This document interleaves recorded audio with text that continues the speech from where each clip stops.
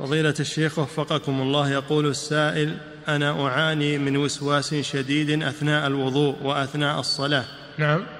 يقول أنا أعاني من وسواس شديد أثناء الوضوء وأثناء الصلاة فأنا أثناء الوضوء عندما أغسل وجهي مثلا وأنتقل للعضو الذي يليه أنسى أنني قد غسلت وجهي وأضطر إلى إعادة الوضوء فأصبحت أعاني معاناة شديدة. فقال لي أحد المشايخ لا تلتفت إلى ذلك ولكن عندما أفعل هذا ولا ألتفت إليه أشعر بضيق في الصدر وتأنيب للضمير وبأنني مقصر في حق الله وخوفا من عقابه.